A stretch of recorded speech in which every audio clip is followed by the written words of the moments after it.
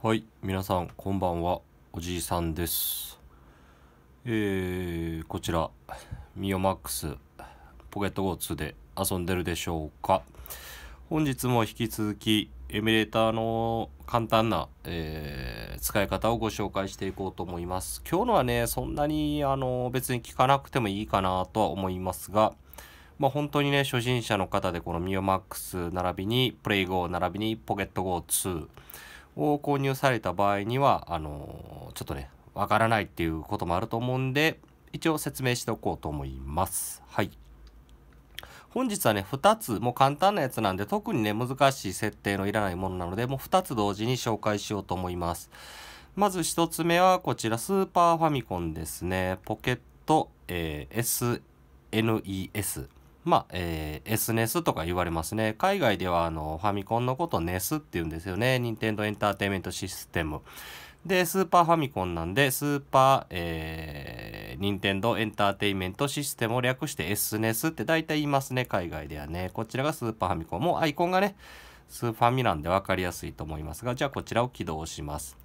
で、いつも通り、えー自分がスーパーファミコンのゲームデータ、吸い出したゲームデータを置いたところに行ってください。一応ね、ちょっとこの前言ってなかったんで、もう一回だけ言っときます。えー一番フォルダーの底辺ですね。ずーっと B を押していくと一番底辺の場所まで行くので、ここのメディアで SD カードのここであとは自分の分別した場所から選べばいいと思います。うちは、えーここでスーパーファミコンなんで SFC ですね。っていうところにゲームデータを置いています。それでは始めてみましょう。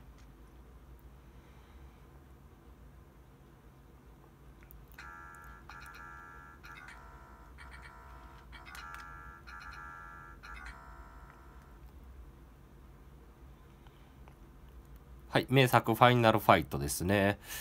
確かスーパーファミコンで一番初め出たゲームがファイナルファイトとスファイナルファイトと F0 やったかなで、それからスーパーマリオがちょっと発売日遅れたんやったかな後から出たのよね。はい、デアーって言ってますね。そうですよって言ってます。はい、ワンはね、もうコーディとハガーしかいないんですよね。で、このようにも普通にゲームができます。で、こちら十字キーでも動かせますし、この、あ、アナログスティックは効かせなあかんか。はい。えーと、で、メニューボタンがここですね。メニューですね。このメニューボタン。はい。で、メニューが現れます。で、えーとですね、ここ今、あ、聞くと思ってて聞いてなかったのがこちらですね。アナログジョイスティックっていうとこが今オフなってますよね。これをオンにすると、このように聞くようになります。はい。これこっちでもいけるので、使いやすいですよね。はい。まあちょっとプレイしましょうか、軽く。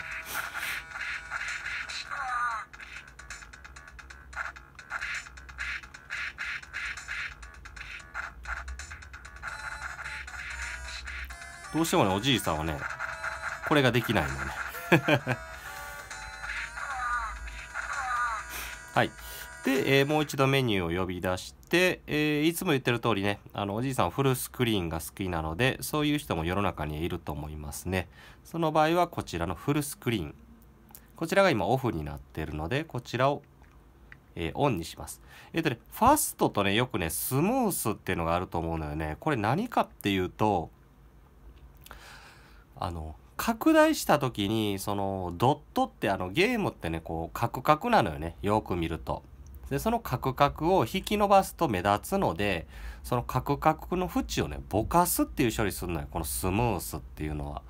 はい。で、あのー処理能力の低いゲーム、あのゲーム機とかやとスムースにするとカクカクにちょっと処理が重くなっちゃうんですけど、ミオマックスとか RG350 では問題ないんで、人それぞれですね、スムースにしてボケるのが嫌っていう人は、えーこちらのファストにしておけば、その、初めの絵の絵を拡大引き伸ばすだけ。でもなんか、あの、そのカクカクがあんま見たくないよって人はスムースにすればいいと思います。はい。じゃあ、今回ちょっとファストで言って、一回二つ見てみましょうか。これがファストですね。カクカクがちょっと見えるよね。こういう風にすると。うん、これが、スムースにするとちょっとボケるんですよ。それがいいのか悪いのかっていうのも人の好みですね。わかるでしょうか？ちょっとボケてさっきよりガリガリが見えないよね。これがスムースっていうやつですね。全然カクカクしないよね。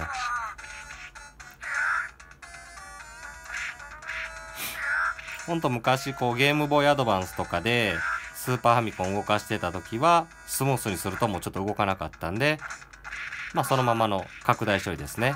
フルスクリーン処理だけでやってましたね。はい。で、えっと、他はもうね、いつも通りですね。もう save state に load state。えー、どこでもセーブですね。で、あとはこちらサウンドのありかなしか。もうこれは基本ありやと思いますね。みんな。あとサウンドレートもこれも、えー、性能の低いね、あの機種の場合はこれを低くして、音悪くして少しでも動作がもたつかないようにするとか。そういうふうなことに、えー、してました。あとこちらステレオのオンオフか、まあモノラルなのでね、別にオフでもいいし、別にステレオにして何かその右と左別の音を出してるようなゲームって多分スーパーミコの時代にはないと思うので、もうこちらオンでもオフでもどちらでもいいと思います。はい。で、フレームスキップはね、あの、基本は、まあオートで、オートにしてると、もういらない時は使わないので、別にオートにしといていいと思います。えっ、ー、とね、スターフォックスとかぐらいはオートにしてないと動かないと思うので、それ以外は基本動きます。はい。ドラゴンクエストとかでも、後期のゲームでも動くことができます。ああいうポリゴンを使ったね、ゲームでない限りは大丈夫です。はい。で、これがいつも通りのあれですね、セガの時にあった save global state ですね。あのこのゲームだけにするのか全体の、え、設定として保存するのかっていう設定がこちらになります。はい。で、EXIT ポケットネスでこれで終わってここから、えー、スタートですね。こちらを押して戻ると。こういう状況です。はい。で、えー、次ですね。この、えー、ReGBA ってやつですね。この ReGBA。こちらがゲームボーイアドバンスの、えー、エミュレーターとなります。では、こちら起動しましょう。あ、えっ、ー、とね、ごめんなさい。これの起動前にね、えっ、ー、とね、ゲームボーイアドバンスはね、あのー、BIOS が必要になります。えー、BIOS がないと、えー、初めに警告画面が出て、ここに BIOS 置いてくださいねっていう警告が出ます。はい。ではちょっと、えー、見てみましょう。えー、いつも通りこちら DingX CMDR ですね。アプリケーションの中の、こちらがファイルマネージャーになってますんで、こちらで、えー、開きます。で、えっ、とですね、外では、えっ、と、REGBA っていうね、あのー、名前やったんですけども、フォルダー名はね、違うんですよ。このね、GPSP っていうね、こっちですね。これ確かね、えっ、ー、とね、ファミコン、えー、パソコンの時からあったかな？これね、エミュレーターの名前なんですよね。GPSP っていうエミュレーターがあるんですよ。だからそれ名前変えて、あの、多分やってるんやと思うんやけどね。で、これがただフォルダー名はこれなんだよね。GPSP が、えー、先ほどのエミュレーターのフォルダーです。で、この中に BIOS を入れてください。はい。で、えー、なんで、ユーザー、ローカル、ホーム、えー、.gpsp の中に、えー、こちらも名前絶対守ってください。えー、gba アンダーバー bios ドット bin です。全部半角小文字で必ず入れてください。ここがどっか大文字になってると、もう、えー、BIOS ないですよってずっと言われることになります。はい。で、この設定さえちゃんとしていれば、あとはゲームを選択すればゲームができます。では、例えば、えー、魔界村を動かしてみましょうか。これね、はい。もう、今のロードが出たらもう配置がちゃんとして吸い出しも成功してるということです。あそこで、えー、警告文字がここのアドレスにユーザーローカルホーム GPSP のところにバイオス置いてくださいよって出たら、えー、配置ができてないか配置してるのにそれが出る場合はどっかに全角が入っちゃってるか、えー、っていうことになります。はい。で、このように普通にゲームをすることができます。ゲームボーイアドバンス、音いいよね。ちょっとやりますね。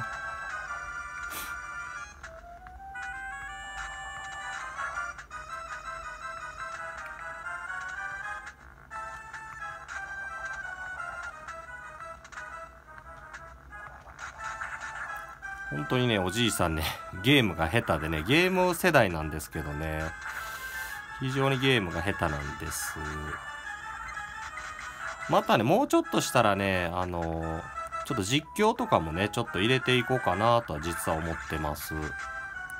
動画のね、種類としてね。ちょっとあまりに下手なんでひどいことになるとは思うんですがまあちょっとそんなもまああっても面白いかなと思ってはいこんなレベルですはい こういう実況 いかがでしょうか？はいギャーギャーギャーいうことになると思いますがはい。で、えー、こちらの、えー、リ GBA ですね、の、えー、メニューはこちらの電源ボタンになってます。こちらですね。上部側面ですね。するとこのように、えー、メニュー画面が出ます。少し見にくいですかね。字がね、独特なんでね。はい。で、ディスプレイセッティング。こちらね、カードリッジロムとかにしておくと GBS ですね。あ、こちら、あの、ブートフロムですね。こちら、あの、はじめに BIOS の画面出すかですね、パラララーンっていうのを出すかっていうのですね、いう設定になります。で、FPS カウンターってよくね、FPS 小 FPS とかってよく出てると思うのよね、他のエミュレーターでも。これは、えっとね、FPS っていうのは60、1秒間を60に割って、えー、どれぐらいの精度動いてるかっていうのを表示させます。つまり、えー、重いゲームの場合は60分の15しか動いてないとか、そういう感じで、まあよくね、あの YouTuber の方がこれぐらい動いてますよ、60分の60動いてますよ、60分の120動いてますよとかってう、そういう風に出すので、基本的には見ないですね、普通の人はね。はい。で、こちら image scaling、これはフルスクリーンのことですね。 full の fast と。で、こちらも出ましたね。 aspect、bilinear。これが、えー、先ほどのボケる方ですね。 smooth と呼ばれるやつですね。こんな感じで、えー、設定することができます。ここにも frame skip ありますが、もう問題ないです。どれも使うことはないです。はい。 input setting はボタンのセッティング。各所自由に、えー、決めてください。ホットキーというのはですね、あの、特殊ボタンですね。例えば早送りとか、 fast forward while held なんで、多分早送りやと思いますね。はい。まあ、この辺の L2R2 使わないので、この辺に設定してもいいと思います。あと、 quick load state。いちいちメニュー出して save state するのめんどくさいよっていう人は、ここら辺にそういうボタン。例えばこういうところとかに設定することができます。いっどこでもセーブ、どこでもロード。あ、死んだ。えー、はい、どこでもロード。いちいち声出さんたらポンポンポンポンポンってやって、えー、シューティングゲームとかアクションゲームとかすぐ、あの、やり直しやり直しっていうことができます。はい。えー、そんな感じですね。はい。